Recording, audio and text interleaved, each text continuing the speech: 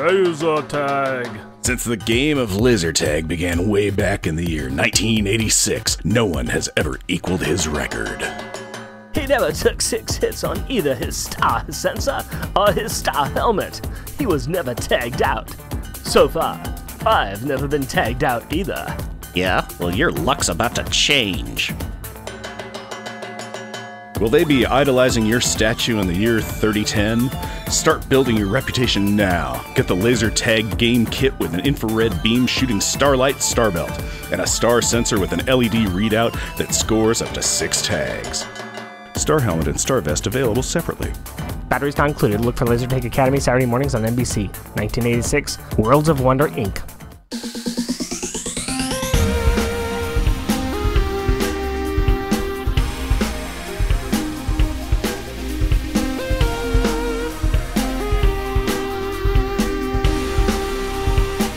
Welcome, dear listener, to our podcast. Jeff and Rick present Unpacking the Power of Power Pack, where we journey through each issue of the most underrated Marvel series of the 80s while drinking beer. analyzing awesome and amazing adolescent adventures and absorbing alcohol. I'm Jeff, And I am Rick. and what this random banner needs is more cowbell. Random banner time, buddy. You did a Christopher Walken earlier, and I'm like, this is what's queued up. This is fantastic. Some people would call it a Christopher Walken.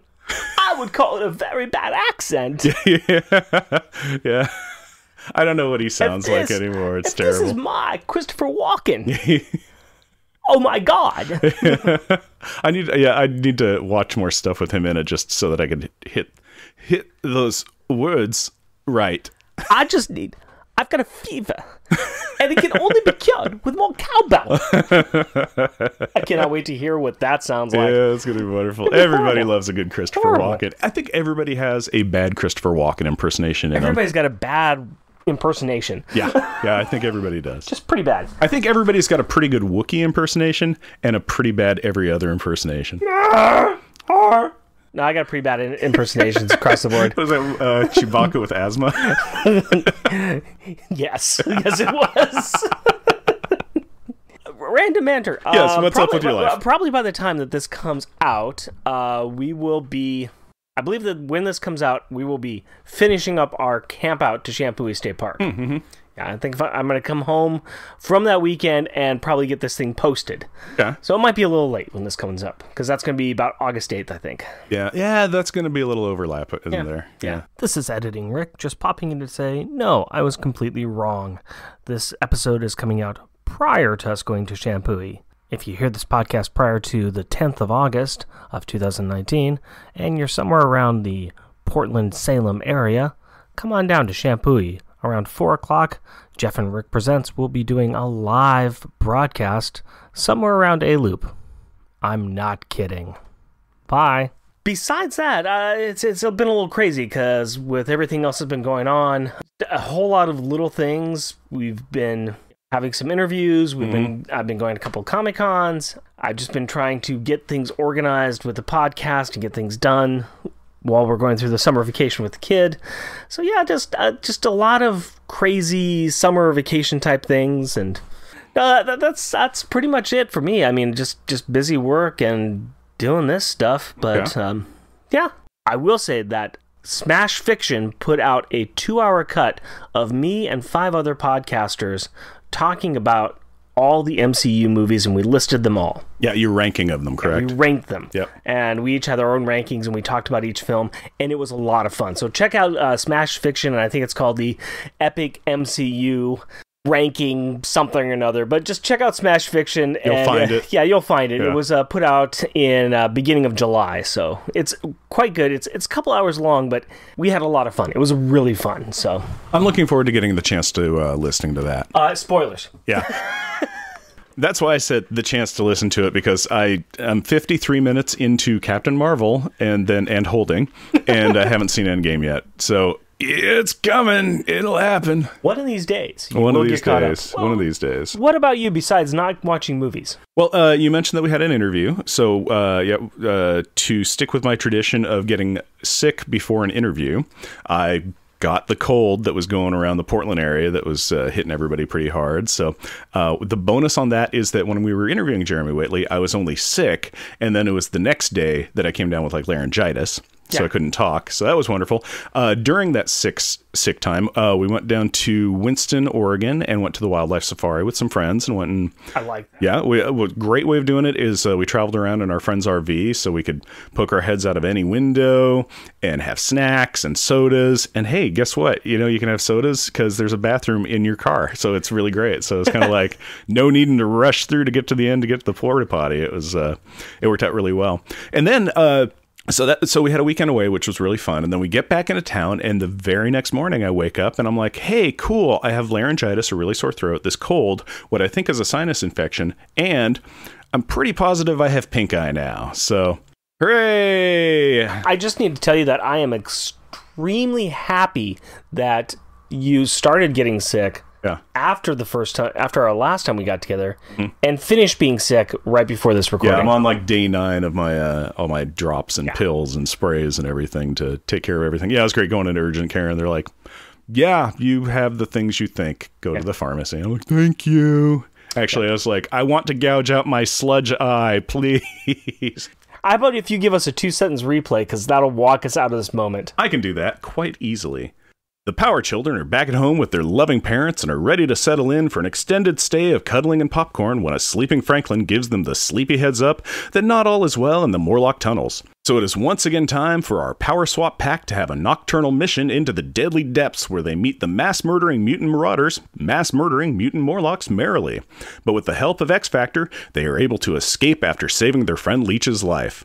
Now that the I seriously cried when Leech was grieving over the death of his adopted mom, Annalie, two sentence replay is over, why don't you give me a beer and tell us what our Power Pack pick is? My pleasure, my friend, and well written, sir. There are times when I have an idea about what I want to get. and I had an times- idea once. Once! once once and there are times when i i really struggle and this is one of those times Mm-hmm. Okay, so this is going to so this be is a. Uh, this is going to be a little bit of a uh, of a stretch All but i need you to go with me I can go with you. I, I, I bet you can pull out your make weight beer and I will find a tie in for you. all right uh, what is the name of this issue The Breakfast Club. and here is the beer that i would like to give you it's from Oslan Brewing and it's called Dawn Patrol. Some people have breakfast in dawn.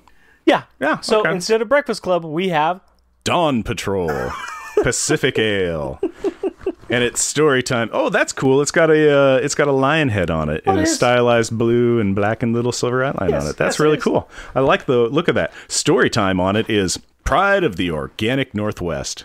yeah Yeah, that's it. That's That's it. that's, That's- story that's time. it. It is a ABV 5.3 IBU 10, and it has it's a pale ale with hops of Cascade and El Dorado. wow, that is hoppy smelling. Kind of citrusy too. Yeah, like I said, it is a weird little line. I decided to go with just a play on the name of the comic, with a nod to Power Pack being on patrol at dawn. Hey, you know, patrolmen uh, will carry clubs with them. So, yeah. Some people have breakfast at dawn, and uh, patrolmen have billy clubs. So, I mean, I- breakfast they, club. They they were more or less on patrol at dawn. There you go. There you Oh, So- they actually really are in this one because it is literally yeah. like five, six in the morning. So, Right. yeah. So I mean, like I said, it, this one was a very weird connection, but you know, we went with it. That smells ki- really, it, it's kind of sweet, but very hops. Yeah, very, very kind of a, a little bit of. Did you say it had citra hops in it? Because it smells citra hoppy. Um, no, it's it's Cascade and El Dorado hops. No idea what those are, but uh, it smells kind of nice. Yeah. In a, it, it- it's a pleasant hop smell, and it is super cloudy. It is a Very- very, very, cloudy beer. You cannot see through that. Very juicy, very cloudy looking beer. Yeah. But uh, let's let's try it out here. Yeah. It's got the tang of the hops, Yeah. but a pleasant aftertaste on it. Goes in the mouth very soft, Mm-hmm. and then it really kind of like bolds up Yeah. in its flavor. Report, yeah, you drink some and you're like, yeah, okay, that's kind of a thing, and then it goes, and then it's just like it goes, yeah, and makes like a fist on your tongue, and, then- your taste buds. But then it up. goes away. Yeah, it's uh, I, I'll have to spend some time drinking this and see what I'm thinking about it. So far, uh, not not bad. It's got it's got definitely got the the citrus hoppy taste in there, Yeah, but it's not a strong hop. It's it's No, very, it's pretty that, light. That, that IBU ten is correct. That's got a, just the ten bitterness level, so it's it doesn't really stay. It's it's pleasant. It's pretty good. I mean, it'd be nicer if today was a warmer day. Yeah. But like it had been most every other day. Today is just kind of muggy. yeah, a little muggy. No, this is not a bad little beer. It's it doesn't taste altogether unpleasant. Yeah. That's it's a nice little beer. It's a good summer beer. A good summer beer. Now that we have our beers, let's get to the opening credits, if you please. Power Pack, issue number 28, February 1987. The Breakfast Club. Credits Writer Louise Simonson. Pencils Terry Shoemaker. Inks Hilary Barta. Letterers Joe Rosen. Colors Glynis Oliver. Editor Carl Potts. Editor in chief Jim Shooter. Alex Power, aka Destroyer, Olo's power sibling, disintegrates matter, turning it into energy, which he can expel into power balls. Julie Power, aka Molecula, Mistress of Density, second oldest power sibling, controls her molecular density. Jack Power, aka, well, he hasn't said it yet, but I think he eventually comes to counterweight. Second youngest power sibling increases or decreases the gravity of objects he touches. Katie Power, aka Starstreak, youngest power sibling, flies very fast, leaving a rainbow trail behind her. And Franklin Richards, aka Tattletale. He can see the future with his dreams, as well as a host of other little fun powers, and he is the son of Reed and Sue Richards of the Fantastic Four fame. Also guest starring Dr. and Mrs. Power. They still don't know their kids have powers. The Fantastic Four, Franklin's parents, his uncle, the Human Torch, and She Hulk, they're in space. And the Avengers, which is only the Black Knight and Hercules and the Butler Jarvis. Apparently, immediately following their foray into the fatality filled furrow known as the Morlock tunnels, the kids have decided not to go home, even though they just got back from being space kidnapped and just snuck out of their house, and it's like 5 a.m. in the morning, and they know that their parents are soon to wake up. No, these masters of mind, these intellectual individuals, these subteens of smarts, they decide to try and sneak into the Avengers Mansion. That is right. These kids are making all the wrong choices in all the wrong places. But mamma mia, why are they making this choice? Well, I'm glad that you asked. You see, after they comforted poor Leech last issue, following the mass murdering of his mom and most of the Morlocks that he knows, Franklin really started to miss his parents. So the Powers agreed to take him to the Avengers Mansion to see if they could find the AA of the FF.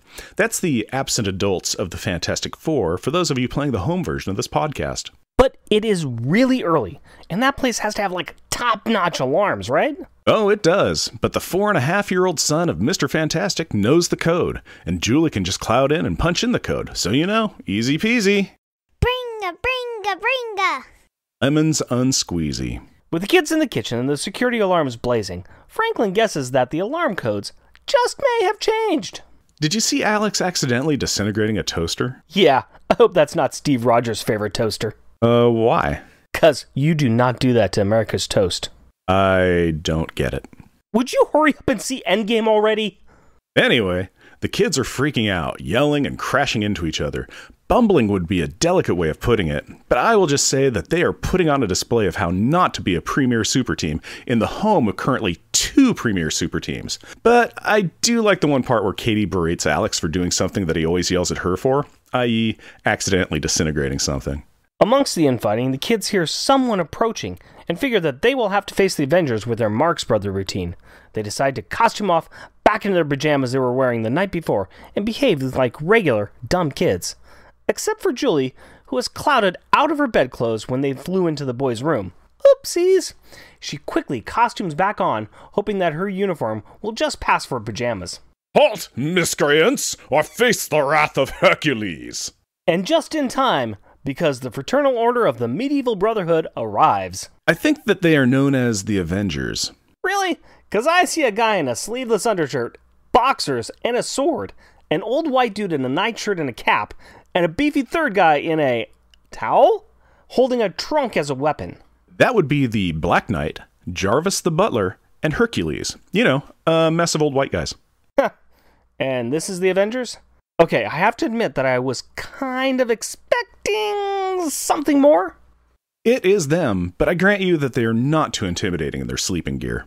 No offense, but when you're expecting the Avengers, these three dudes, no matter what their sartorial choices may be, are just not that impressive. Hercules and the Black Knight are it? I know them from the papers. Darn, we could have outrun them. Or at least outflown. See, Jack and Julie get it. But unlike them, some of our listeners may not know these two Avengers. Wait, who's not heard of Hercules? Well, he is not being played by Kevin Sorbo or Arnold Schwarzenegger, and he is not exactly from the pages of Homer's The Odyssey. Okay, so this is not a legendary journey, but it is in New York. Man, I always forget that Arnie played Hercules once. Yeah. So let's just talk about the Greek god for a minute. It is Hercules from Greek mythology. This modern interpretation has him painted in very broad strokes as insanely strong, full of mirth, hot headed, and always looking for a party in a keg, aka stereotypical jock frat boy. Black Knight, also known as Dane Whitman, is an excellent swordman who has an enchanted blade that has been passed down through his family, aka stereotypical SCA dude. So, not the A list team, but we are burying the lead because the awakened and attacking Avengers avert all advances after attending and acknowledging the appearance of the absent all powered adolescent. Jarvis and Franklin have a sweet reunion as all of the kids try to explain why they are here. In retelling the story, Franklin mentions the snarks, which causes Jarvis to finally understand the incomprehensible note that Johnny left for him. Jarvis removes the note from the fridge, giving it to the kids. It says, Jarvis, have gone to Snarks to find Franklin. Neat. Well, sure, Julie, but you have context for the note. Poor Jarvis has probably been looking for the specific Rosetta Stone to decipher this enigma. It was Johnny Storm who left the note. He should have started with a Chex decoder ring. Alex is worried that the Fantastic Four will run into Murad, but Jack is of the opinion that in the off chance they do find Murad, what could she do to the Fantastic Four? Huh, well, that sounds like a setup for a Meanwhile, in space, home of the exiled ex Empress. I don't think she was an empress. Well, I wanted it to alliterate. Fair enough, but then you could have called her the quarantined quitted queen. In an amazing set of coincidences that could only exist in a comic book or a Quentin Tarantino film, the Fantastic Ship is flying right by the HMS Bitter Broke Baroness. It appears that Murad is looking for some target practice, and this incoming ship is perfect. I mean, how else is she going to get rid of her stress? That's right. She has taken up space piracy, which means that Emperor Bacha, in exiling instead of executing her, has made Murad the universe's problem. In work speak, that is called promoting away a headache. Insert our slow golf clap here. Murad decides to hold fire until the strange ship gets closer, which allows us as the reader to check in on the four fighters who are fantastic. What exactly are they doing, Rick? They are roasting hot dogs. uh, uh, no, silly. What are they doing in their spaceship? They are roasting hot dogs. The the the s- spaceship. Look, I, I don't know what you want from me. The answer is not going to change. Sue has a force bubble with hot dogs inside, while Johnny is in his human torch form, dancing fire on the outside of the bubble. S- so so many questions, all beginning with why? Let's just save them for later because Beep, beep, beep. The beeping machine on the big light board is making funny sciencey noises, obviously indicating some science is happening. To be a little less obtuse in our description, they notice Murad's ship. Hey, don't you disparage my love of blinking lights and beeping machines. Okay. So, Reed verifies Murad's ship matches the specs from the Skrull database, and that is enough to make Sue act, well, a little bit like my co host. Intelligent. And handsome, but I was going to say unreasonable. She states that they must be the monsters that stole her son. Reed is pumping the brakes on the acquisition train and decides to, shocker, ask questions instead of shooting. He sends out a message letting the Snarks know that he is looking for his son. Murad, through the help of a universal translator, comprehends that this is the father of one of the brats that thwarted her. And she responds with lasers, not answers. Can we talk for a minute about how powerful Sue Richards is? Sure, Reed has brains, no tact, and can stretch, but Sue has beauty, intelligence, decades of writers who have mistreated her, invisibility, and amazing force fields. Reed directs her to activate her powers. This easily blocks the energy attack from the enemy ship. Reed then advises Sue to turn them invisible. Panic ensues in the despised and deplorably determined despot's ship. Murad tells her subordinates to calm the heck down and check their instruments. But it's too late. Clang. Subterfuged ship successfully sets on the Snark ship, and with a mighty Rip. She Hulk enters, yelling. It's clobbering time! At this point, Rip and Tear from the Doom soundtrack needs to kick on because this is just awesome. Meanwhile, back on Earth. Home of the breakfast baking and bending beefcakes. Now let's just unpack that sense for a moment, shall we? First, we have Franklin sitting on the counter watching a now fully dressed Jarvis, thank you very much, make pancakes while declaring that they are his favorite. Franklin declaring that pancakes are his favorite. Just like popcorn and lentil soup, so, yeah, you know what, guys? Let's take a drink. Hercules, still waist Oh, dear God. in a just large enough towel, is standing by the table with Katie sitting in the palm of his hand as he holds his arm nearly straight out. The Black Knight is dialing the powerhouse while holding Jack away. You see, Jack is trying to persuade them not to call their parents, and Alex and Julie are sitting at the table, coming to terms with the fact that their parents are going to kill them this time. Franklin is also giving Jarvis an overview of the life with Power Family, and how even though it is like total awesome sauce, he still misses his mommy and daddy. Now that the Black Knight has entered the number for the kid's house and the phone's ringing, he passes the phone over to Hercules. Huh. That's a choice. Why would he do that? Simple. The Black Knight is a coward. Sure, he can face Skrulls and demons, but a couple of angry parents from New York? Eh, that's got him quaking in his helmet. Ha! A fine idea, Dane. This may be quite a shock. No doubt they'll find my godlike delivery comforting. Nope, nope, nope, nope, nope. No one would find that comforting. At the table, all four kids are now whispering together about their predicament. Alex is ready to tell their parents about their powers. Julie is afraid it would snap their minds. Jack is comparing the situation to the Richards and how they treat Franklin even when they have powers themselves. Katie is backing up Jack, saying that the Richards don't even seem to love Franklin. Meanwhile, in space. Home of the Fighting Fantastic Four. Bam, sock, pop, wham, choke, thud. The Snarks are not pleased to find that they have attacked more superpowered humans. This is why you should always do research before you swipe right on that app. It probably is not helping that they attacked the FF, or that the FF are looking for their lost little lamb. It probably is also not helping that no one has turned on any kind of translator. There's a lot of yelling in languages not understood by the other side. Reed leads his team into the control room where they find Maraud. The Queen tries to rally her troops with a.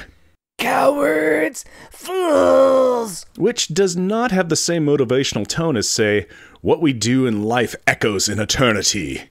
But it does inform the humans that the translator is working here, so Sue uses her force field to gently Wham. place Murad onto a wall so she can politely start a dialogue. You can understand me, so talk. Where's Franklin? What have you done with my son? Ah, diplomacy. Where would we be without you? Meanwhile, in a mostly empty apartment. Home of the, oh dear God, not again, not again, parents. Yep, whether it was the ringing phone, a trip to the restroom, or an alarm going off, Maggie and Jim have woken up to find that their kids are gone. Uh, again. Bring, bring. I'm really feeling sorry for these two. This is just mean. After running from room to room, they collapse into each other's arms, crying hysterically. Bring, bring. On the other end of the line, the kids are feeling like they have caught a break since no one is answering. Jack even tries to say that their parents are on vacation, still trying to keep the towel tower of testosterone from completing the call. Bring, bring. Jim finally answers the phone and talks to Hercules. So, that is a thing. Later, like minutes later, as Jim and Maggie improbably sprint over, Jarvis welcomes the distraught couple into the Avengers Mansion and informs them that the Fantastic Four are in space again, and that the number that the powers have been calling to contact them about Franklin is connected to a currently empty building. This does little to calm the couple down as they are in the Avengers Mansion to talk about how they have been taking care of the Fantastic Four's kid while his parents are in space looking for their missing child. And as they enter the kitchen, James starts off by addressing Alex as Alexander. Ooh, that is a sheer sign that you are busted as a kid when you get the full name treatment. I have no idea what you're talking about, Jeffrey. Uh oh. And Jim demands to know what in the wide, wide world of sports is going on.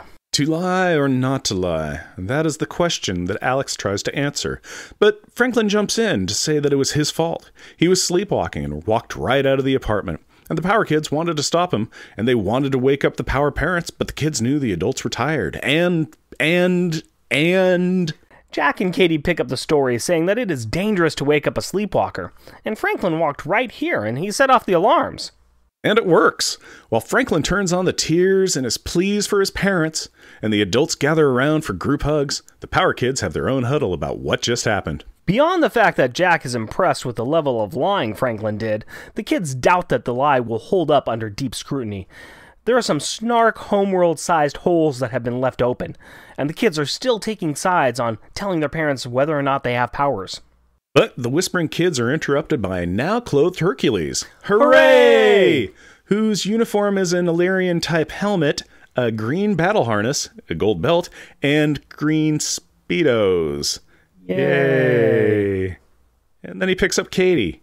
Boo! See, he wants to be Franklin's friend's friend, and to hear about their space adventures, and he obviously does not understand personal space. Later at the breakfast table, the powers are explaining who and what the Snarks are and why they have bothered them. You know why. Because of the invention James Power made and that the Snarks wanted in issue number one. Alex actually pushes the theory about the Snarks still wanting it, even though it was destroyed long ago. by Alex. Meanwhile, in space. Home of the homeward headed horses. So, uh, interesting thing here. There seems to be more than the two Kymellians we were expecting on this Snark ship. Uh, what do you mean? Well, Yurik and Kofi were sent to return power back to Earth with the Snark Royal Escort on a Snark ship. That is the ship they left on and are returning on.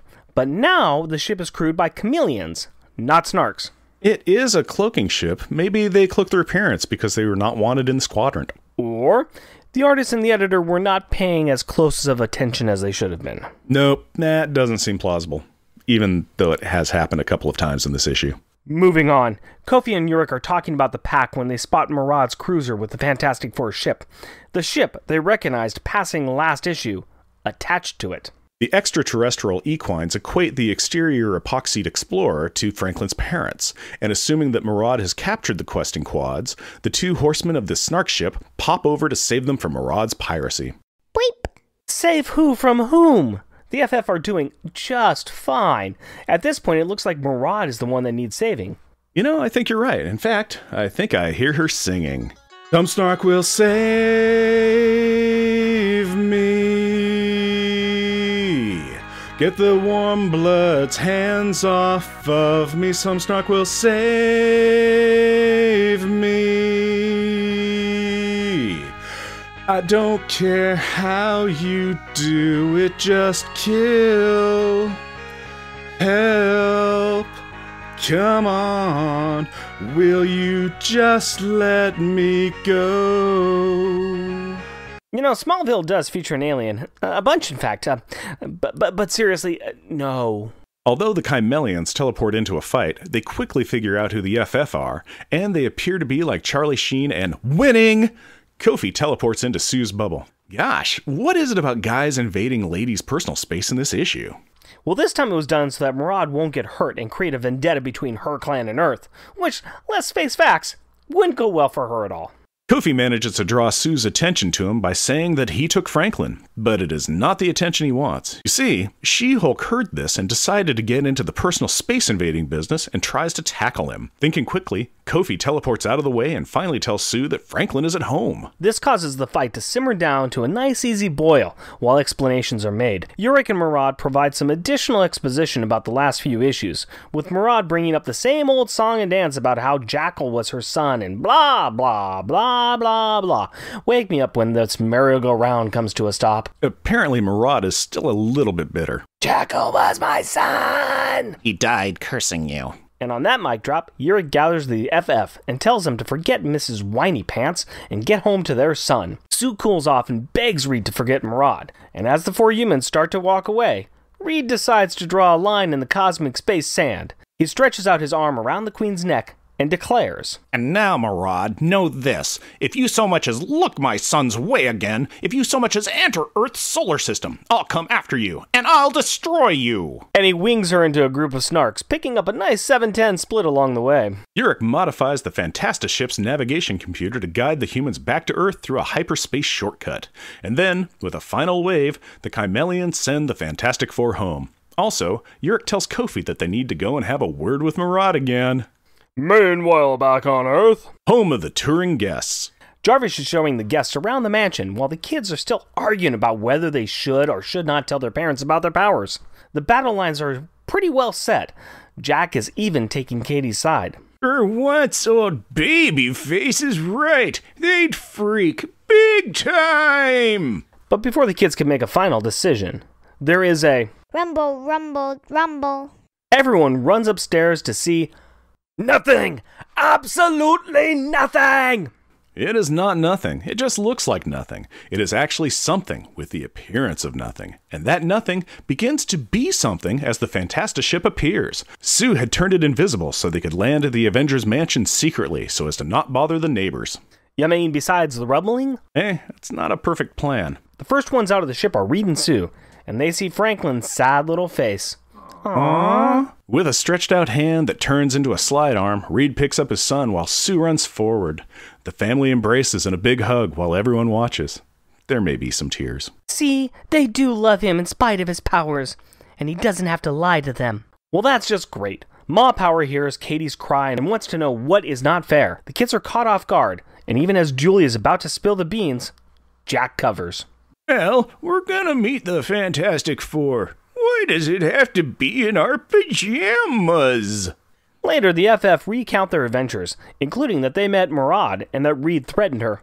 Awesome! Sue notices Julie's costume slash pajamas and makes the connection that it is similar to the Kymellian spacesuits. Julie makes up a lie that one of the Kymellian smart ships made it for her, which is kinda true. But Alex has already started to ponder how many lies they have told, and when will it catch up with him? Before he can convince himself to tell everyone the truth, Reed invites James to check out his lab. This crushes Alex, who would love to come along, but he knows how mad his dad is at him. So, as the opening bars of All by Myself begin to play in his head, he is completely caught off guard when his dad pulls some awesome out of his pocket and asks Reed if his son can join them.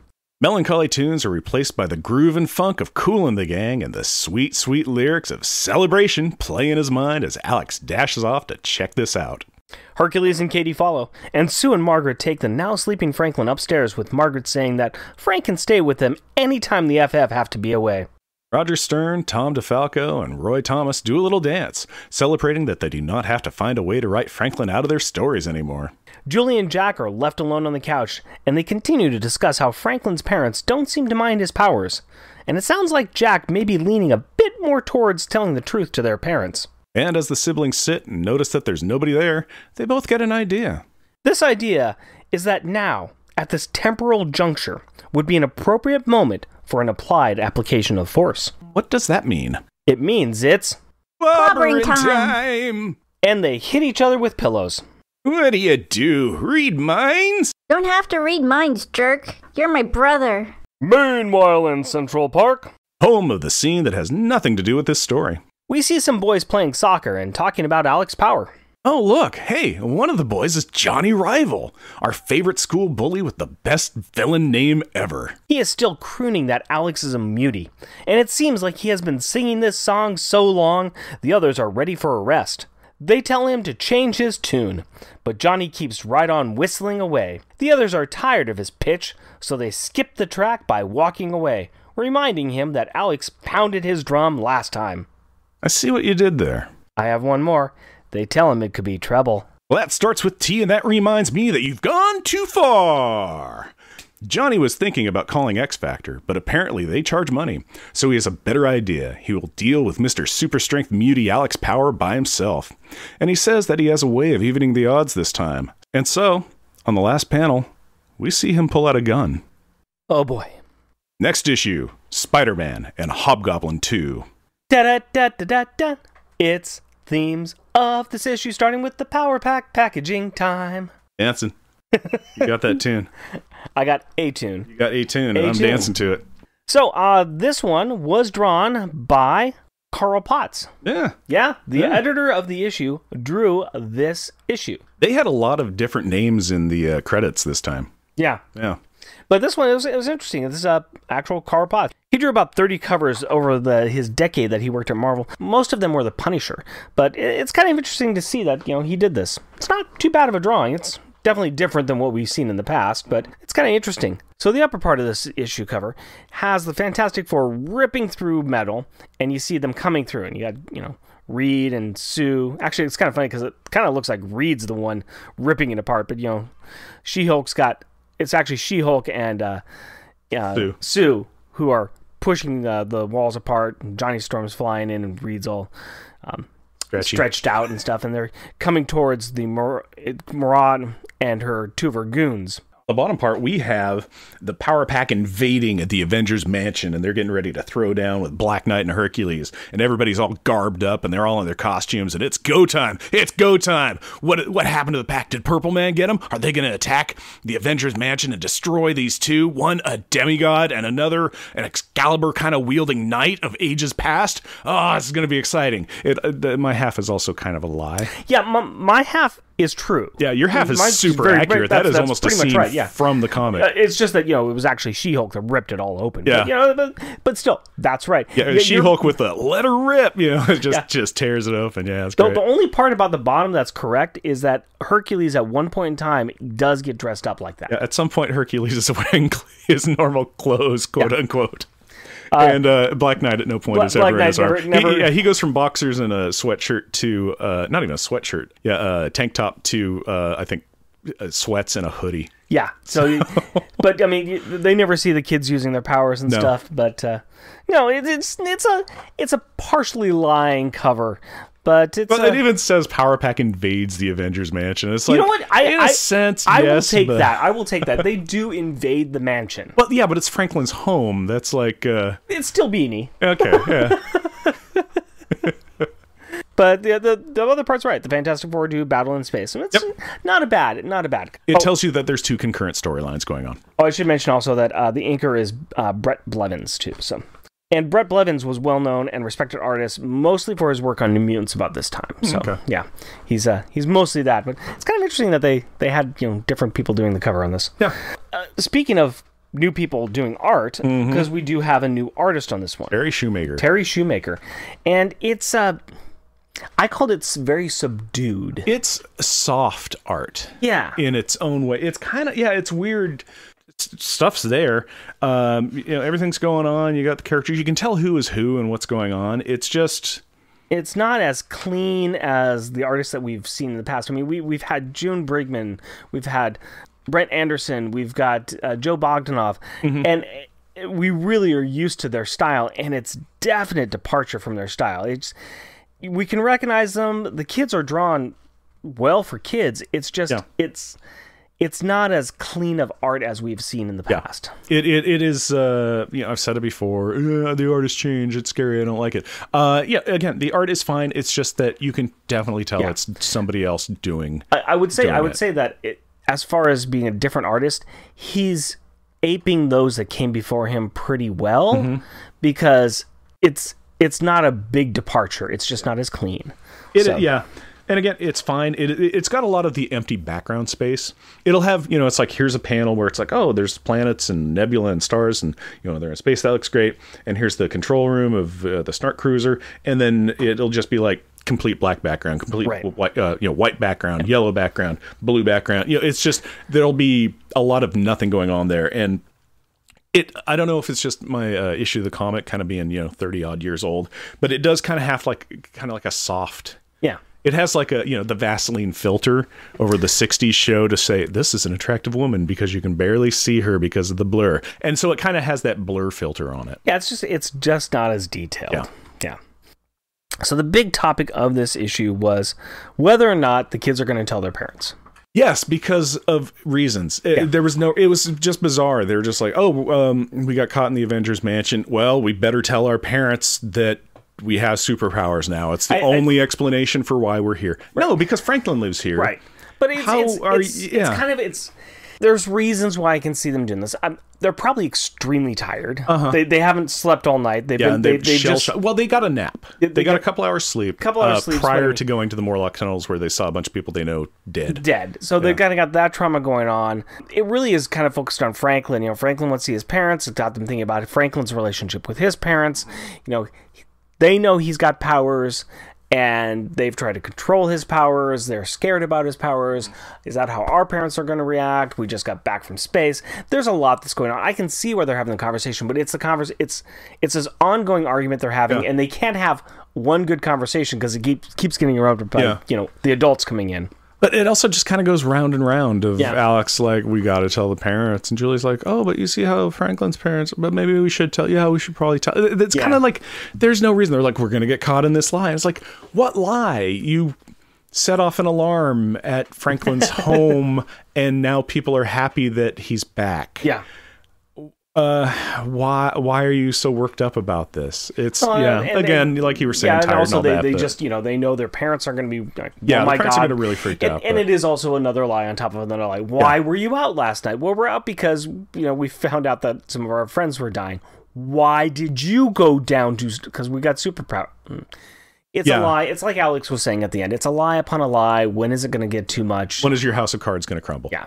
So it's good that they're thinking about it because it, it's a big thing. It's true, but it, it's also it's the generic superhero mantra of uh, the lies I need to tell to protect myself and the people I'm lying Right, to. Yeah. it's nice to see that we got Fantastic Four throwing down big time. Oh yeah, they it is pretty darn awesome what the the four do. It's- it- uh, they go forget- in and they just yeah they rip it up and they just slap Snarks around. Then a cloak and dagger slapped around uh you know the Emperor's elite guard. So don't come to Earth. Yeah.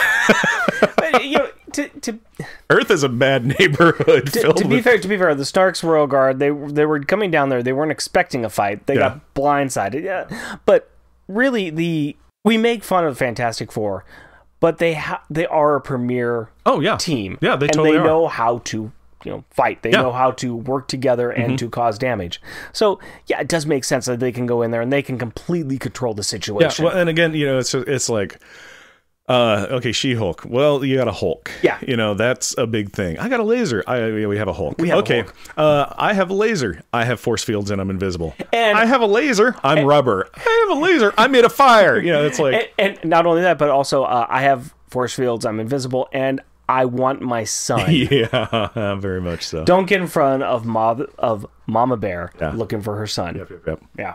Sue is edge. Sue was on edge. Sue was very much on edge, but you know, with good reason. It's you know, she- and, and like you know, she wants her son. This is her child. She wants her son. Uh, and Reed was a little on edge too. Yeah. He threat. You know, Oh well, he was after after uh, after effect uh, on Edge. Sure, sure, He, but I mean- was just kind of like, okay, I know fully what's going on. I have all the data points that I Yeah. need to assess the situation and come up with a uh, you know a reasonable theory. And, that theory is that you don't come near my family. or my planet. Yeah, you stay away from my family. You stay away from my planet, or I'm gonna come back. and and And I know more than one Hulk. And, and if you want and if you want to see my resume on this, Yeah. I would like you to refer you to Galactus. Galactus, the Skrulls. Yeah, those four Skrulls that are cows. Although I just I wish I'd like you to refer you to Galactus. Yeah. Like you know, early on in Yeah, our thing. I gave him a cease and desist order. Uh, yeah, you can. Uh, a resume checker will be a Silver Surfer. so we see that Fantastic Four are quite a team to be dealt with. I mean, they they are imposing. yeah, they're fantastic. They're fantastic. The Avengers. Well, just the ones that just sleep at the mansion. This ain't, this this ain't no Endgame Avengers movie here. This is this was the made-for-TV special on an off-brand channel. yes. All right, who can we afford? uh, well, we was- can we can have we can have Jarvis. We got to have Jarvis. Jarvis is willing to do anything. Th- th- this was this Uh. was the unmade movie after the death of the Incredible Hulk. Okay. That's great. Yeah. well, we can have Hercules. He's like a Hulk. we couldn't Uh, even get Lou Ferrigno back. Yeah. Okay, I mean you know Yeah, the, uh, the Hercules wrapped in a towel. Literally, he's wrapped in a towel. he's wrapped in a towel. Yeah, for the majority of this thing. While he's holding and talking to Katie. Yeah. Um, well, I kind of get that. Um. Uh. Excuse me, Hercules. Uh. Could you please step away from my daughter? yeah, no, uh, Black Knight and Hercules. I'm uh, personally, I've always been a, a fan of Hercules because I mean, he's he is a powerhouse. However, uh, you know, when your special ability is punching, guess what? That's a lot of people's special ability. The Marvel Universe made Thor a heck of a lot more interesting than they've ever made Hercules. Yeah, they really. Uh, you know, there was a time, I think it might have been during Civil War, uh, that I thought Hercules was kind of interesting because he kind of slipped into his. He's a computer programmer. And he kind of p- went into his computer programmer guys. Yeah, so you know, it's just like he kind of pulled back. He had glasses and I- ponytail, and he kind of was like a. I- and again, except for that singular example that I just came up, Yeah. I can't come up with any other interesting Herc. Uh, do you guys have any interesting Hercules stories, or is, is there any? Yeah, go if you have an interesting Hercules story, go to our webpage and for this episode, write it on our notes there. Yeah, is yeah. When when when do you remember a thing that Hercules did where you're like, dude, Herc's just super cool. Yeah. Jeff from Presents.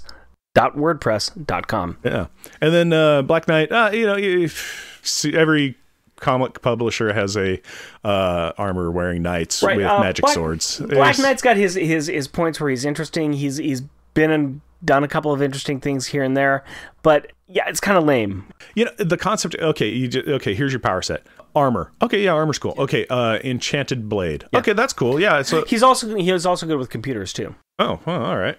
Maybe that was the time. I don't know. But- I but know it- very little about But Black but at the same time, he's kind of good with computers. But uh, on a team with Tony Stark and Hank Pym, yeah. yeah, he's kind of third string there. yeah, I know. Well, it's kind of like uh, with uh, you know Jim Power meeting Reed in Yeah. this one, you know, where he's even talking where Maggie's all like, "Oh, well, you know, the Snarks wanted you know Jim's you know device he created. He's a physicist, and you know, Power Jim Powers is all like, yeah, nowhere on the Yeah. caliber of yeah, Reed yeah, Richards. Yeah, yeah, nowhere like you. yeah, he's like, I'm yeah, I'm I'm this tier. I'm not that tier. But at the same time, it's not in this issue, but there's some future issues down the line where I know they have some conversations together, and it's they can actually talk to each other. I would want to see that in a comic. Honestly, it, it's again, we always talk about like the slice of life stuff. I want that. I want the interactions with the uh, you know kind of the everyday Mm-hmm. people and stuff. It's like I just was reading the uh, uh, you know marriage of Ben Grimm and. Uh, Alicia Masters, Yeah. you know, kind of thing, you know, recently, and it's like, you know, and hey, they're having bachelor and bachelorette parties, Yeah. and it is, it is both like, hey, Thor brought a keg, and also here's my buddy Wyatt, you know, it's kind of like, it's like I like the mixing of you know normals and superpowers and all that. It's just like I like I like it when the fantastic is interacting with the mundane because Yeah. it really puts it into the world. we like those kinds of interactions, and, and they got something to talk about besides that. They've got families. Yeah. Do you ever have those moments where you go down a rabbit hole so far that it's really not worth it to stop even though you should? Welcome to this segment. I decided to see if The Breakfast Club was also a book as well as a beloved 80s film, but it is not. So I found a lot of lists of books that were reminiscent of The Breakfast Club, and after diving deep, and I mean really deep in those lists, I found a book that sounded interesting. And I read it. And it has nothing at all to do with this comic book. Period. Nothing. I don't even think that they talk about eating breakfast in the book. the book is called We Are Still Tornadoes. It was written by Michael Kun and Susan Mullen. Uh, this is listed as a YA book, but I would say it's more of a mature YA due to the language and some of the content. The book focuses on the relationship between two 18 year old lifelong friends. Fresh out of high school in 1982, she has gone away to college at Wake Forest, and he is stuck at their small town working at his dad's store, Agee's Men's Clothing. These locations are very important because the narrative is delivered through the correspondence these two share with each other using stationery from their respective locations. Over the course of the year, these two best friends go through a roller coaster of emotions as various life events crash around them. After years of being able to see and talk to each other every day since they lived across the street from each other, they struggle to figure out how to communicate over a medium that is not conductive to sarcasm or knowing winks. But they have their inside jokes, their deep caring for each other, and their brutal honesty. The authors do an amazing job of weaving the story of their changing lives in a compelling and heartfelt way. I was very hooked early on in reading this, and I found myself burning through this in like one night. Even though I could guess where the book was going every step of the way, I found that it was a fun ride. I was really invested with the characters and found myself taking sides in the fights and anticipating the responses to the letters. And while it has nothing to do with this comic, I still found it to be a very pleasurable diversion. So much so that I would highly recommend anybody want to read it. It's a pretty quick read. Like I said, I got through it in one night, but nothing to do with this comic book. but you know what was in this comic book? What? Science. Yes, there was. So would you like bring us back into this comic book? You bet. I uh, totally will. Boy, oh boy, we got an interesting look at how the Fantastic Four prepare food in their spaceship, didn't we? Well, this got me thinking. How do real life space explorers prepare their meals in space? Is it with an open flame in the command module with hot dogs floating in it? No, the answer is no. They prepare their food in a small galley. The space kitchen doesn't need to be too extravagant because much of the food can be eaten straight from their packets and all the drinks are dehydrated. Coffee, tea, milk, and juices are hydrated in their own pouch using a valve that dispenses hot or cold water attached to the station in the ISS service module, while a similar process is employed for rehydrating the soups, pastas, and other dried meals that they have. Astronauts use a forced air convection oven to heat the prepared meals that need warming. All told, it takes about 20 to 30 minutes to reconstitute and heat a meal. So, no microwaves, no convection ovens, and no open barbecue pits, just hydrating and heating. And that is this week's Science Corner. Thank you very much. There was um, a very lack of open flame and hot dogs in that report, and that made me sad. Yeah, I I was surprised too. I'm like, don't you just have a giant ball of flame with food floating in it? You do only if it's power. That's a segue. Thoughts. So let's talk about some final thoughts. Mm-hmm. Refrigerator gallery, not ISS space station gallery. I'm talking family refrigerator gallery. Mm-hmm. Because, you know, if we go up there and put a piece of artwork on there, it's going to float away. Unless we use a magnet. or Velcros, which they use in space all the time. Velcro on everything. But I'm not going to Velcro my artwork to a fridge. Okay. What piece of art in the book needs to be put on the space station refrigerator? What do you have as a backup that is funny? My backup joke one is on page three, and I call it Unslumber Party. And this is when the Power Kids have uh, turned their costumes off and are in their pajamas, and out of a doorway bursts Hercules, uh, you know, front and center, carrying a like a foot locker because he's going to smash people with it, wrapped in a towel.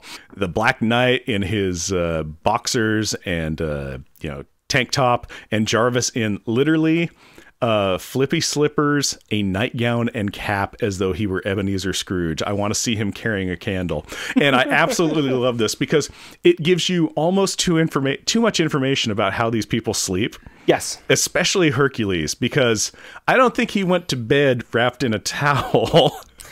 At least he put it on before he grabbed the trunk. yes, thank you, Hercules, for that small, small favor. so I'm just like, wow, I know what everybody wears when they go to sleep, or lack thereof, Herc. so it just made me laugh. I just loved seeing a, a two groups of superheroes in their pajamas or equivalents thereof. Well, I would like to say that I also have Hercules as my backup funny one. Mm-hmm. And this one is all the way on page 20.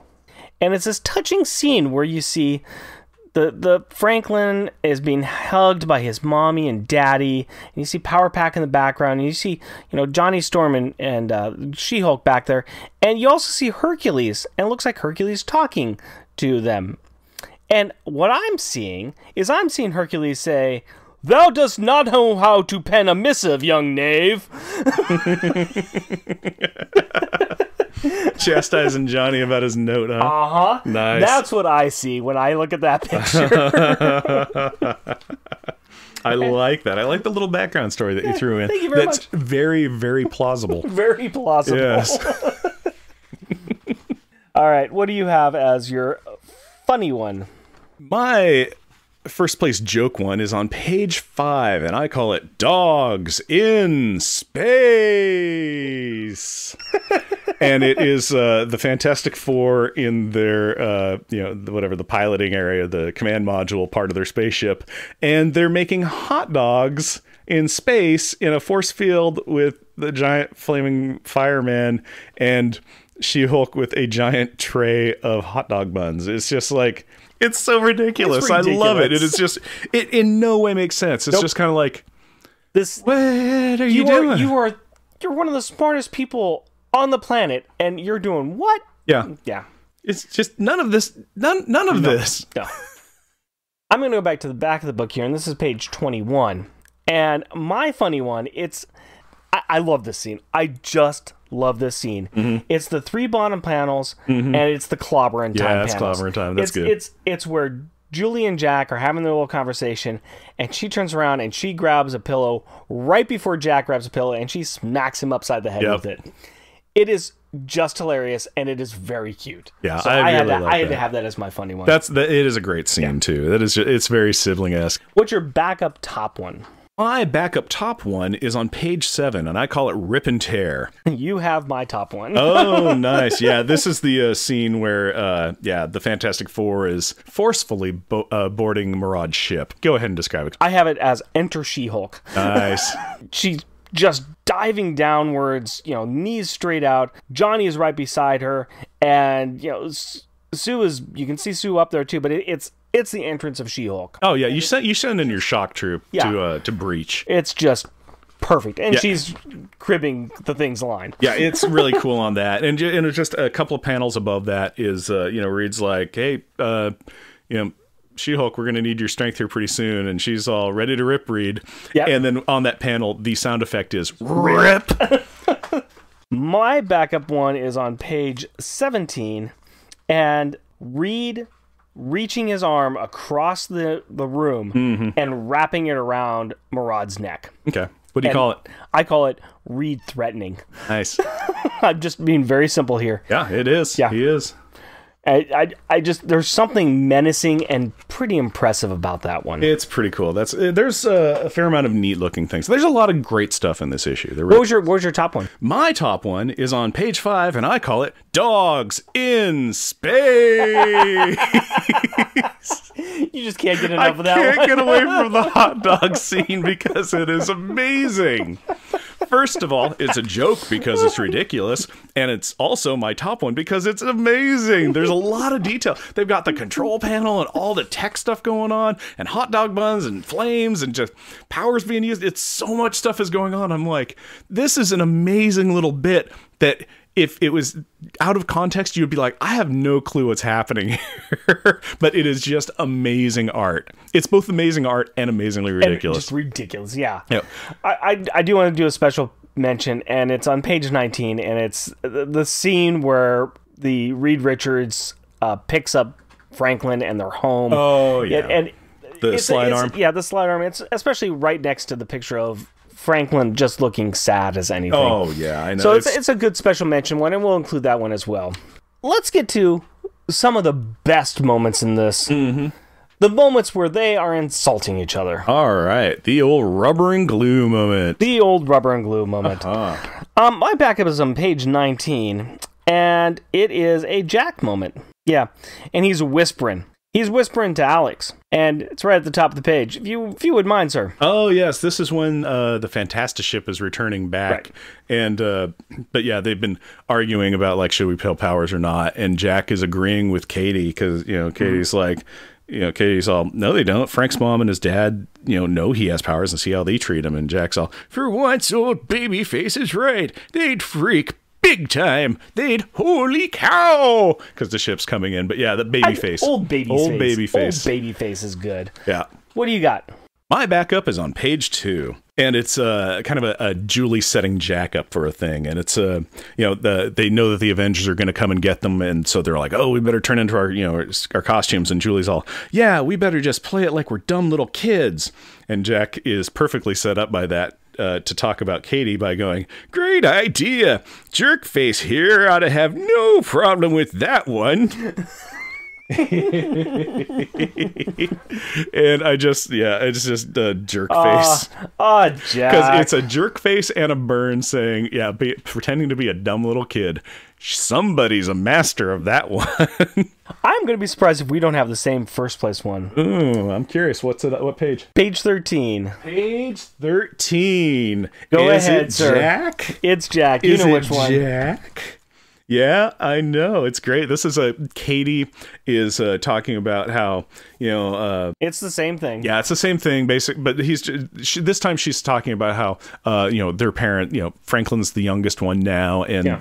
and their parents love him best, and how you know basically going, ah, Franklin's gonna live with us, and my parents love him more than they love me. And uh, Jack's all, if all the dumb cry baby jerk face things to say. Yeah, it- it- Yeah, it's- and you notice my previous one had jerk face in it, and now it's just even more jerk face. It's got the same. It's got the the one from mine too. It's like Yeah. the. It's got the you know Yeah. crybaby. Crybaby, yeah. yeah, yeah. So it's it, he's tying them all Yeah, together. he's he, he's just throughout the entire episode is just keeping that string and just knitting himself an insult sweater. Very nicely said. so speaking of an insult sweater, let's see who gets to wear it. Yeah, that's the new category. Who's wearing the insult sweater? We also call it stars in detention, but you know we're willing to we're willing to work with it a bit. Uh, so who's your detention kid that we're gonna make wear the itchy sweater? I'm gonna say Katie. Wow. Okay. Yeah. How come Katie? Um, I'm gonna read my note here. Uh huh. You ready? Yes. She's just not recognizing stranger danger. Oh.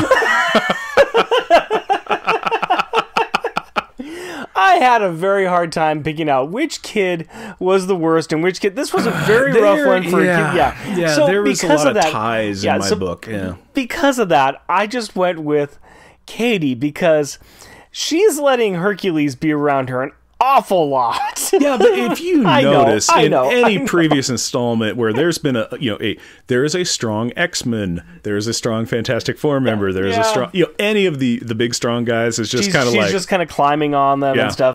Of of all the the reasons why they should or should not tell their parents, hers was.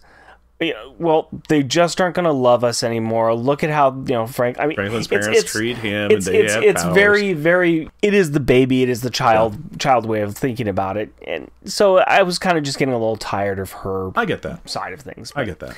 That's where my coin landed. Who's yours? My coin landed on Alex. Okay. Yeah, mine was Alex just because he immediately was like, "We're gonna have to tell everybody about our powers now." Uh, why? Because we're going to have to, and everything's terrible, and my dad hates me, and I won't get to go to the lab, and oh, we're lying. You know, it was just like he was very down. Yeah. He He's a was little bit of a very sad sack perpetually. Yeah, he was sad sacking. He was perpetually. He gave up. Yeah. and he continued to give up. He just, it was just everything sucks, and I'm just I can't no. You know, so that was that was why I picked him. And I think I think either way, it's probably right. Yeah, there it, there was several people that were. It was a good choice. Both of those, I think, are ideal choices. For For my best kid, I'm going to say Franklin. really, okay, yeah, uh, he was not my best, but he was tied. He saved the powers bacon. Yes, he did. He he he could string together a good old lie there, and um, he kind of was the impetus for the story too. Uh, yeah. I, I can all of his decisions to do things. You know, getting the powers to take him to uh, the Avengers Mansion. Yeah. Um, telling lies to protect his friends, being sad because his parents are there. Yeah, I can see where he's coming from. Oh, yeah, totally. I really can. And then just the utter joy that he's got when his parents are back, and and how he's just like, oh, it's the Avengers. It's the Avengers Mansion. You know, that's where I live and stuff. it's it's, it's, it's all cool. You yeah, know? it's uh, if that's where you you have your teddy bear in your pajamas. You're not going to be too awed by it. That's that's where you brush your teeth and uh, you know watch maybe some talkies with Jarvis on occasion. So But so yeah, who did you have? mine was Jack. Okay. and it, it was just because uh, Franklin was he was top on my list as well, but Jack was constantly hustling. He was the only one in the family that was all like. How about this? How about Yeah. this? How about this? He was, you know, he was Chevy chasing it really hard. He was, you know, it's Fletch time. What's- Fletching it, What story is going to get it going? What's where? We, you know, how can I shut you down? So he was constantly doing that. It was great, and he's like, okay, the phone's even after the phone call's going through, and it's like nobody's picked up yet. It's I- because I'm parents still- are on I'm vacation. gonna- I'm gonna still make this work. I'm gonna make so, this work. yeah, so he was constantly hustling. So uh, Yeah, I I, really I've, I've got no problem at all with. And, and I, it was this was just a very difficult one. It, There wasn't much to distinguish him. You had to really kind of dig down deep to get there. So Yeah, basically, yeah. no G forces. No G-force, so it's zero Gs. Uh, you can find that in space, possibly on Murad's ship after She-Hulk got busy ripping a hole in it. Well, yeah, they don't have a hole there anymore. That, That's that's gonna suck. Uh, well, for snarks, No, no, cares? no, it's gonna suck. Oh, into it's space, because yeah. of the vacuum. And that gives us a G average of 1.1, which you can find between the surface gravity of Earth and Neptune. And uh, our G total is 31, which is three more Gs than the surface of the sun. Huzzah! Huzzah! We now have top grades. We want to evaluate this issue with the rest of the series. Power Pack 25 tops our list with Power Trip. And um how are we feeling about this one? I don't know. It's uh, it's fine. Fine? It's not amazing. No. It's uh, the, I don't think it's I don't think it's credibly um important. No, it's not. The most important thing is that Franklin can now be home with his parents. And his parents have met the powers. It can it tied in to give more reason why Franklin could be hanging Sure. out with the powers in the future, which is great.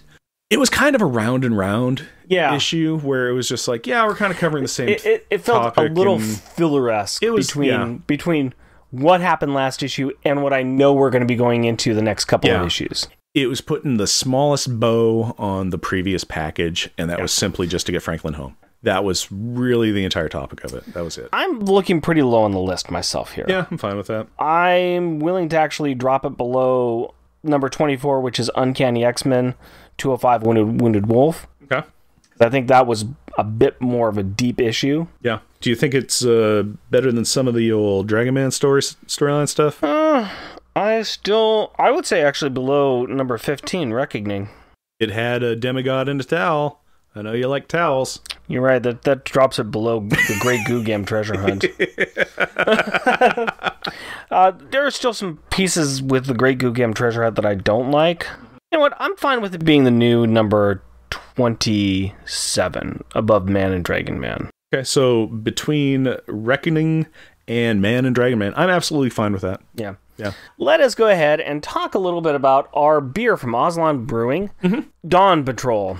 This is good. I'm still enjoying this. Um, the I, hops. I haven't really been drinking it so much. I picked it up a couple of times. It's it's fine. It's fine. Yeah. I, I'm I'm not minding it. I mean, it's as far as a hoppy beer, it's pleasant. Yeah. Um, it's got good taste. It's good for a nice hot day. So I, I'm quite happy with this one. I, I would say that this is probably a it's probably above a three and a half for me. I maybe three and a half or four. I'm gonna go for a three and a half for me. It's it it's very much a it's fine. I'm I'm enjoying it enough. It's not one where I'd be like I need to keep getting that into me. Right. It's just it's very much like yeah this is it's pleasant. It's a beer. I like beer, Yeah, it's a beer. and uh, it's very much like yeah I I would I would drink that. I, I think I'm gonna go for a four. I, I I like it a little bit better than that. Um, it's something that I would choose again Okay. with limited selections. So I would probably choose this one again. So I'm gonna say it's a four for me. Uh, I would drink it again. Yeah. I wouldn't super specifically go and hunt it down. If I, if I saw it in a store, I'd be like, hey, I've had that. I wouldn't be like, ugh, that. I'd be like, oh, yeah. And if somebody said, how was it? I'd be like, yeah, it's fine. Aslan Brewing. I like the name of their brewing. And that brings us to kids' perspective. And that's where Rick talks to his daughter Carrie about this issue. So, Rick, Carrie, why don't you have a little talk and share it with us? Hi, Carrie. Hi, Daddy. How you doing? Good. It's a brand new day. It's a brand new day and a brand new comic. Yeah. We're talking about Power Pack number 28. And it's um also has Fantastic Four, Uh huh. Who else is in it? the Avengers, The Avengers? Yep, the Avengers are in it too. and the Snarks. Yep, Snarks are in there too. There's That's a lot why- in this one, isn't That's there? that's why um there's a a big action cover. Yeah. Tell me your overall opinion of it. What do you think? I think it looks pretty good. Yeah. Besides the Avengers, like besides Power Pack did not go um to see the Snarks, nor did the other Avengers, but only the Fantastic Four. Well, that's why there's a big slash in there, right? yeah, When Power Pack went and uh, met the Avengers, were was Power Pack in their costumes? they quickly costumes off, Yeah. but Julie couldn't because um she was naked. Right. So that's why she was like, okay, maybe I just will keep this on and nobody will notice and they'll just think it's my pajamas. Yep. so, tell me what you thought about the book. What what happened in the book? As soon as the Avengers saw them, Franklin recognized somebody in there. So that's why they didn't, you know, start a fight, Right. which was good because that would be good against good. Yeah, we don't want that. Yeah, that means less heroes. the parents didn't notice that their children escaped again. Until they woke up in the morning, right? Yeah. Yeah. Were they a little upset about that? Yeah. You think mommy and I would be upset if you ran out of the house in the middle of the night? Yes. Are you going to do that? No. Good. I'm always too sleepy to do that. Yeah, that's true too. what else is in the book? And like breakfast with the Avengers. Yeah, who made breakfast? Jarvis? Yep, Jarvis made breakfast. And then Franklin says, Mmm, pancakes, my favorite. Let's just say that Franklin likes to say, my favorite. Yes, he does. So their parents were so close, so close to actually knowing their pa- their kids' powers. Right. The kids were talking about that a a lot of whether they should tell them their parents that they have powers or not, right? Yeah. You think they should? Well, if I had powers, I would tell you. Aw, thank you. And mommy. Why do you think the power kids don't want to tell their parents? Because they, they think they've seen enough. They think that it would be too much for them? Yeah. That's sounds fair though, right? Yeah. Katie and Jack were like, well, Franklin's mom and dad know that Franklin has powers and look how they treat him. But it turns out they treat him good. Right. They they they're worried about Franklin's powers. Yeah. So maybe they should, maybe they shouldn't, but kind of hard though, right? It's a hard decision. Very hard decision. That's why they're just making up big lies. They are making very big lies. But that's the hard thing because if you tell them, then they'll get mad at you for lying. Yeah. That's gonna be awkward. It is going to be very awkward. Anything else you want to talk about, or is that about it? well, all I have to say is it's a hard decision that they're gonna make. But luckily, you don't have to because you don't have powers, right? yeah, I wish, I sure wish we could fly. It would be nice to be able to fly. Then we wouldn't have to wait in traffic, right? Yeah, we could just fly out of the car and say, traffic stop.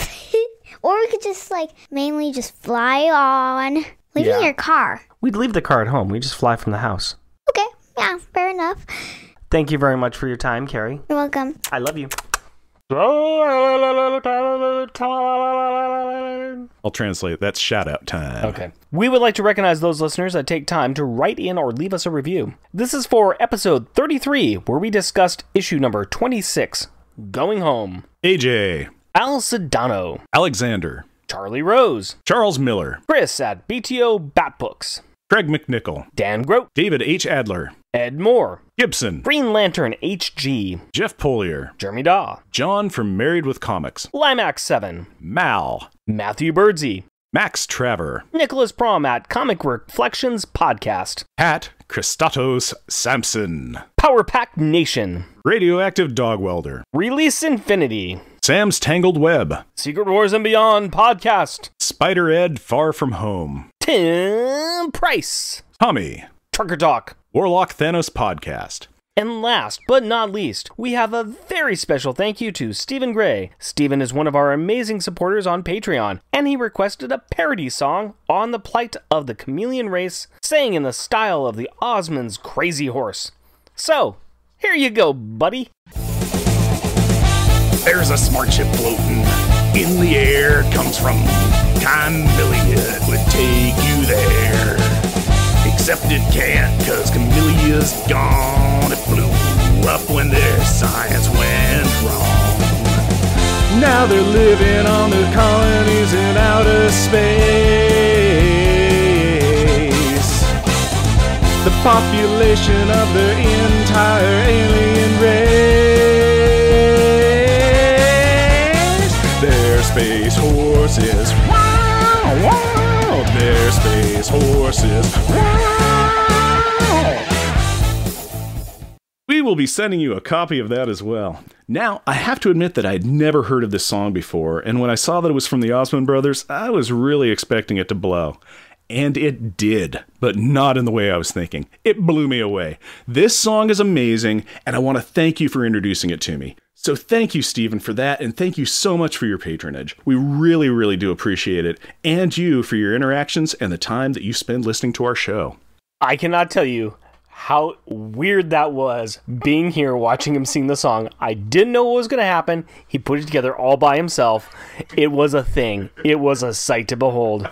Be sure to check out some other shows that we're on, specifically junior agent submissions that we put to MI6 Rookie Agents episodes of On Her Majesty's Secret Podcast. And we have some merchandise available on Redbubble. Right now, it is just shirts and stickers around our logo, but we will try to come up with some other fun stuff for our fans. So, go to redbubble.com and search for Unpacking the Power of Power Pack. Jeff and Rick Presents is a bi weekly self produced podcast recorded in front of a live studio audience of a lot of stuff in Portland, Oregon. If you would like to interact with us through the magic of the interwebs, you can do so through Twitter at Jeff and Rick Present, our Facebook page, Jeff and Rick Present, our email address, Jeff and Rick Present, all one word, at gmail.com, or at our website, jeffandrickpresent.wordpress.com. And if you would like to help support our show, we are on Patreon. You can find us at patreon.com, Jeff and Rick Present, all one word. Please rate and review us anywhere on the internet that you possibly can. Tell your friends about us, share your love for us on social media, and just, you know, throw our show at a random person on the street. Just grab a stranger and yell our name. And as always, we want to thank the wonderful women in our lives my wife Cindy and our daughter Carrie. My fiance Hillary and our daughter Aurora. We love you. Until next time, Costumes, off. Our theme music is 80s Action. Also featured in this episode is Laser Pack. All music is by Kevin MacLeod at Incompetech.com and is licensed under Creative Commons by Attribution 3.0 license. Laser tag. laser tag, Jeremy. It's laser tag. Do, do I need more cowbell? Laser tag. Pop, wham, choke, thud. Featuring Power Pack. Alex Power, aka. Nice, Rick. Aren't you a Power Pack expert? You don't even know Alex is AKA? Powerhouse. It's Paxman. Pop, wham, choke, thud. Franklin guesses that, um, guess what? The alarm clo Um, guess what? The alarm clo- clothes, clothes. Codes. Alarm codes. Franklin guesses that the alarm clothes may have changed. You said clothes again. Pop, wham, choke, thud. Halt, miscreants, or face the wrath of Hercules. Jeff, it's, um, Hercules, like the Greek god, not Hercules as in Hercules Poirot. Actually, uh, looked up Greek, uh, English and Greek accents. Uh huh. Yeah, So that's what you're that's going with? pretty close. Yeah, All right. I can do. I can do another if you want. I can try something else. You, you, if that's your bliss, then I want you to follow it. Okay. Pop, wham, choke, thud. Black Knight, also known as Dane Whitman. Insert name. Pop, wham, choke, thud. Hercules, still waist wrapped in. Oh dear God.